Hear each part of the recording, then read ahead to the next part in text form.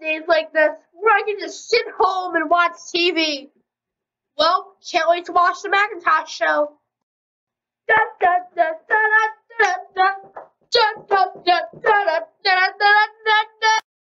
Hello, kids!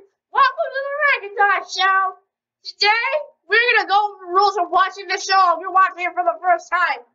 First rule, no eating apples while watching this show. the show because he said not to eat apples. Ow, ow, ow, ow. What? I don't remember them saying that. Well, I do.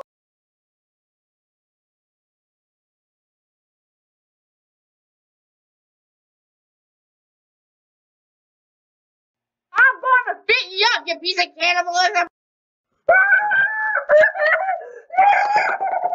no, no.